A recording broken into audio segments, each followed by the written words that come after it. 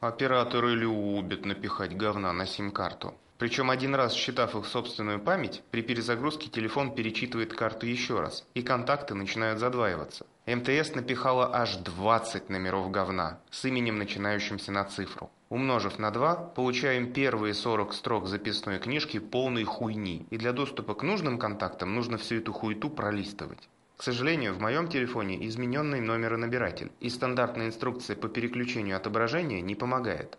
Но на самом деле многие и на обычном Android не могут удалить контакты SIM, так что вообще непонятно, как удалить эти контакты. Пришлось перерыть кучу приложений в Play Store, из которых с поставленной задачей не справилась ни одна. Худо-бедно получилось удалить контакты с помощью утилиты Copy to SIM card, но и она делает это через жопу.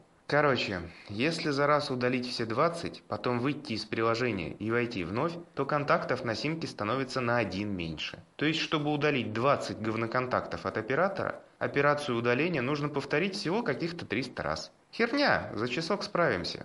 Пидорасы, блять. Но в итоге сим-карта стала девственно чистой, и теперь первая строчка в записной книжке – это первый контакт с именем на букву А, как вообще-то и должно было быть без всяких плясок с бубном.